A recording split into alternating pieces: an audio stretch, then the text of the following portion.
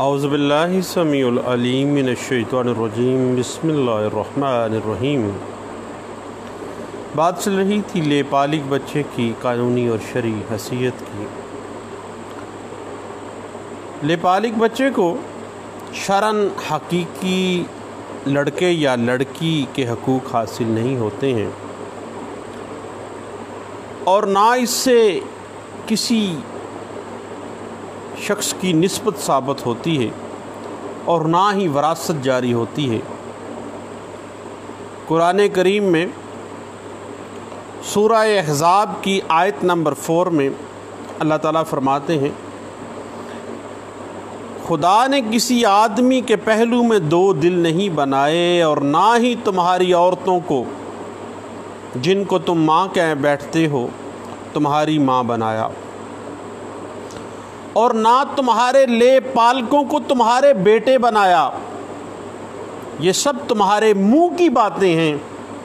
और अल्लाह तो सच्ची बात फरमाता है, वही सीधा रास्ता दिखाता है। फिर अल्लाह ने सूरत अहज़ाब की आयत नंबर पाँच में इरशाद फरमाया, मोमनों के ले पालकों का उनके असल बापों के नाम से पुकारा जाना ही एहसन है। यानी मोमनों के ले पालकों, यानी अडॉप्टेड चाइल्ड का उनके असल बापों के नाम से पुकारा जाना जो है, वही अरशाद खुदाबंदी है। अल्लाह कहते हैं कि उनके अपने असल नाम, असल बापों के नामों से पुकारो, कि खुदा के ना नज़दीक यही बात सच्ची और दुरुस्त है। अगर तुम उनको, उनके बापों का नाम मालूम नहीं है तो याद रखो कि वो दीन में तुम्हारे भाई और दोस्त हैं। सूरत अलहज़ाब आयत नंबर चार और पाँच में शरीयत महमदी में लेपालिक बच्चे की, जो शरीयत इस्लामिया में शरी हसीियत है, वो बयान कर दी गई। और शरीयत महमदिया के मुताबिक किसी दूसरे के बच्चे को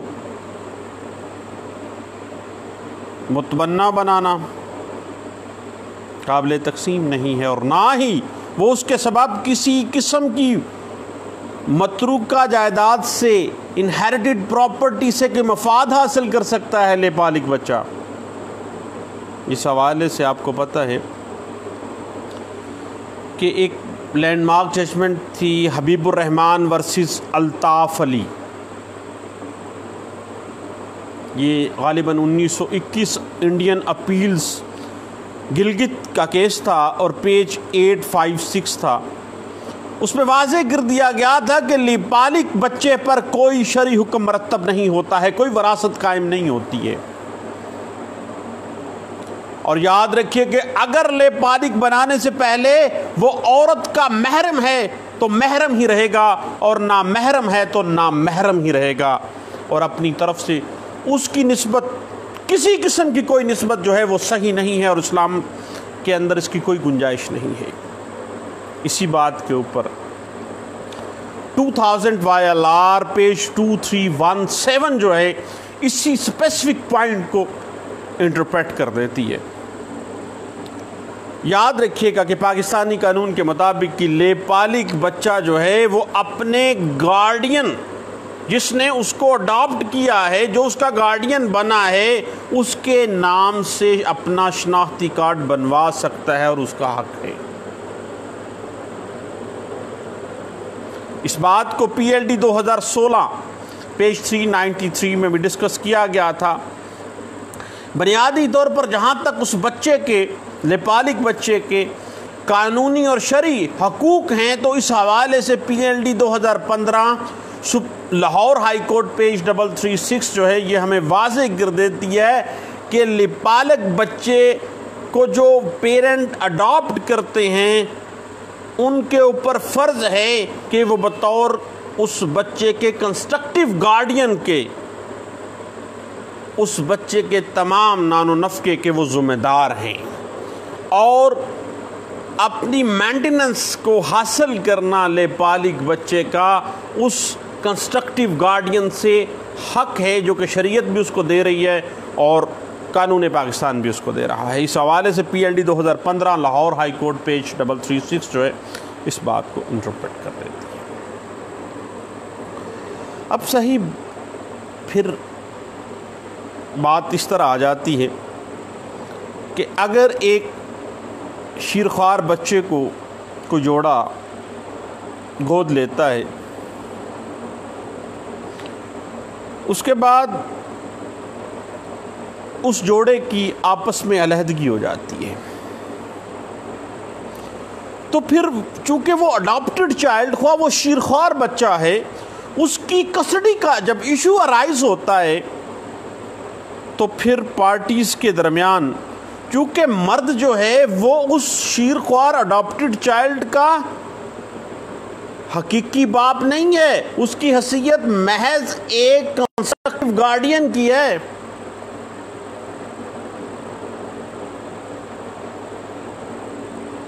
तो देन वालिद जो है, वो वैसे ही कस्टडी से फारिग। और औरत जो है, चूँकि उसने बच्चे को मुश्तरका तौर पर अपने सबका खामन के साथ मिलकर बच्चे को अडॉप्ट किया था तो अलहदगी हो गई, तलाक हो गई तो अब उस अडॉप्टेड चाइल्ड की जो कस्टडी है, वो उस औरत को इस वजह से मिलेगी क्योंकि जब भी कभी कस्टडी का मैटर हो अडॉप्टेड चाइल्ड का कस्टडी है या किसी भी माइनर की कस्टडी है तो वेलफेयर ऑफ़ माइनर को देखा जाएगा। इस हवाले से PLD 2002 Lahore high court page 283 जो है वो इस बात को साहिब वा, वाजे कर देती है। अब अगर हम शरीयत महमदिया को देखें ना तो शरीयत ने कती सूरत अडॉप्शन को दूसरों के बच्चे को लेके पालना इसको कोई इतनी ज़्यादा अहमियत नहीं दी है। प्रमोट नहीं किया है। और कुरान में सूरत लहजाब की आयत नंबर फोर और फाइव में अल्लाह ने तो वाजे कर दिया है। और वरासत भी नहीं जायनी है और ना ही वो हकीकी बाप हो सकता है, ना हकीकी माँ हो सकती है। कानून भी इसी बात को रहेगा कि they are just only constructive guardians इस हवाले से 2000 Y L R page two three one seven जो है वो इस बात को इंटरप्रेट कर देती है।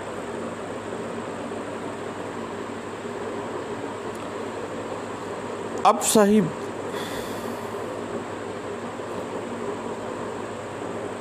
इसी हवाले से अगर हम देखते हैं कि वरासत में एक लेपालिक बच्चे का कोई हिस्सा नहीं बनता। अगर उसके जो जिन्होंने अडॉप्ट किया है उस बच्चे को, अगर वो अपनी मर्ज़ी से कोई एहसन सलूक करना चाहें, उस बच्चे के नाम पे कोई वसीयत कर जाएँ तो वो एहसन है। अदरवाइज़ अडॉप्टेड चाइल्ड अपने गार्डियंस की प्रॉपर्टी में से कोई चीज़ एज ए इनहेरिटेंस गेन नहीं कर सकता है।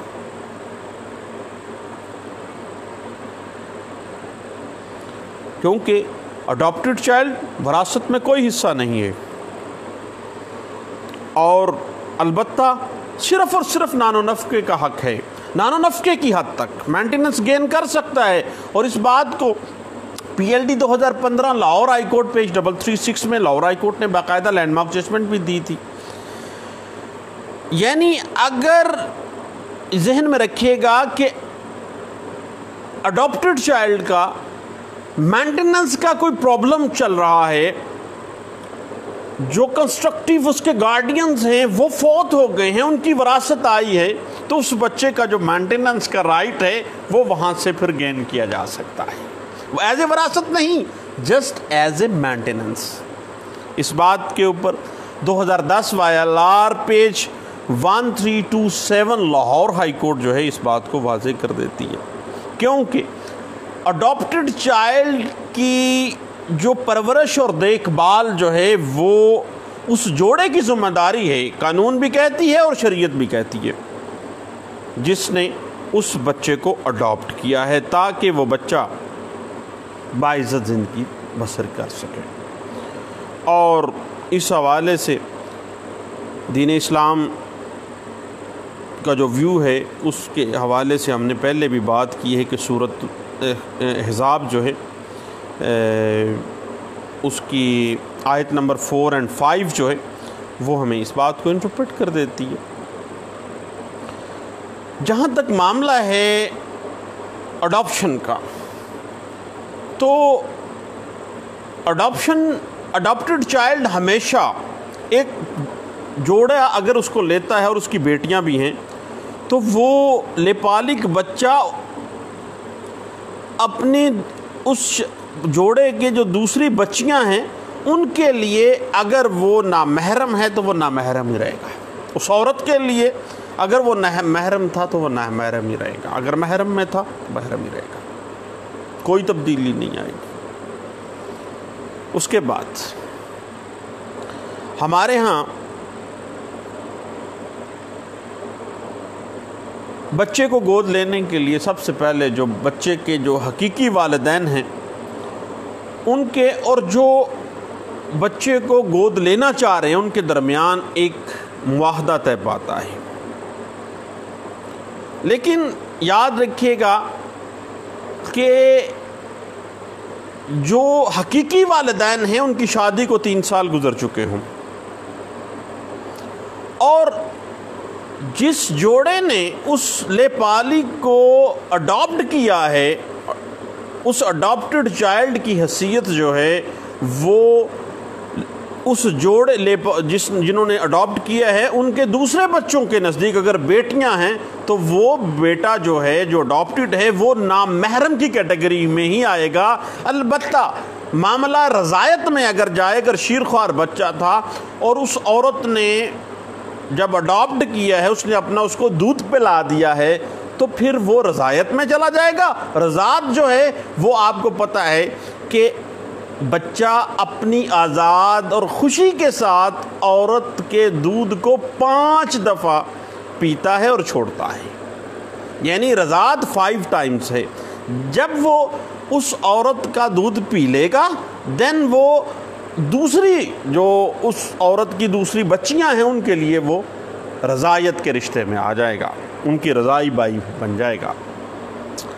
हाँ बात चल रही थी दोनों फैमिलीज़ जो बच्चे को गोद ले रहे हैं और जो बच्चे को दे रहे हैं। दोनों के दरमियान एक माहदा तय पा जाता है और उसके बाद माहदे के बुनियाद पे ही जो जोड़ा अडॉप्ट करता है उस लेपालिक बच्चे को, वो बाकायदा तौर पर हमारे यहाँ अक्सर ऐसे होता है कि डेक्लरेटरी सूट फ़ाइल कर देता है जहाँ पर नोटिस जारी करवाते हैं और फिर अदालत में आ जाते हैं हकीकी वालदेन उनके बयान हो जाते हैं। बयान में वो क्या कहते हैं कि माहदा हमने किया था और बच्चा हमने इनको दे दिया है और जनाब माहदे की रेटिफिकेशन हो जाती है माहदे की तो तोसीफ़ हो जाती है। और जब मादा रेटिफाई हो जाता है, उनके हक़ में अदालत जो है, वो बाकायदा तौर पर जब कंसेंटिंग राजीनामे के बयान आ जाते हैं, यानी उनको कहते हैं कि डिग्री होने में कोई एतराज़ नहीं है, दावा इनके हक़ में हो जाए, हमें कोई एतराज़ नहीं है। ये मुआदा वाकई हमने लिख के दिया है, ये बच्चा हमने वाकई इन्होंने अडॉप्ट किया हमने इनको दे दिया है। जब वो बयान दे देते हैं तो फिर दोनों पार्टीज़ को सुनने के बाद हकीकी वालदेन की आज़ाद मर्ज़ी को देखते हुए अदालत बाकायदा तौर पर जो है, वो इस्तकरार हक़ की डिग्री जो है, जो बच्चे के कंस्ट्रक्टिव गार्डियन हैं, जो अडॉप्ट कर रहे हैं बच्चे को, उनके हक़ में जारी कर देती है। और उसके बाद फिर बच्चे के जो वो बाकायदा तौर पर जब डिग्री आ जाती है उन वालदेन के हक़ में, ज़्यादा वालिद वालिद वालदेन तो नहीं है वो, लेकिन चूँकि उन्होंने अडॉप्ट किया है, वो कानून की नज़र में कंस्ट्रक्टिव गार्डियन है उस बच्चे के। उसके बाद वो बाकायदा तौर पर गार्डियन कोर्ट में गार्डियनशिप सर्टिफिकेट अप्लाई कर देते हैं, और फिर उसके बाद गार्डियनशिप सर्टिफिकेट लेते हैं, और फिर नादरा में जाके बाकायदा तौर पर अंदराज करवा देते हैं। और लेपालिक का जो कंस्ट्रक्टिव गार्डियन होता है, जिन्होंने उसको अडॉप्ट किया होता है, उनके बाकायदा जो है शनाख्ती कार्ड पे भी वो बच्चा चढ़ जाता है। फार्म बे जो है सीआरसी और जो भी बाद में, जो भी डॉक्यूमेंटेशन जो बाद में बनने वाले हैं, उनमें उनका बाकायदा अंदराज हो जाता है। इस हवाले से PLD 2016 page three nine three और पी एल डी दो हज़ार पंद्रह, Lahore high court page double three six जो है ये इस बात को बड़े अच्छे अंदाज से इंटरप्रेट कर देती है। चंद बातें थी दोस्तों, लेपालिक बच्चे की शरी और कानूनी हसीियत जो है, पाकिस्तानी कवानीन के तनाज़र में, शरीयत के तनाज़र में। हमने कहा कि सब दोस्तों के साथ इस बात को डिस्कस करना चाहिए। आज हम चंद दोस्त बैठे एक जगह पे तो ये गप लगा रहे थे। मुख्तलिफ़ बातें चल रही हैं। एक दोस्त ने सूरतलहज़ाब की सूरा नंबर आयत नंबर चार और पाँच का हवाला भी दिया। और बाज़ दोस्तों ने उस पर अच्छी खासी बेहतरीन डिबेट हुई। तो मैंने कहा, अपने सब दोस्तों से उस डिबेट का जो खुलासा है वो बयान किया जाए। दोस्तों, दुआओं में याद रखिएगा। दोबारा इन मिलते हैं। अल्लाह हाफिज़।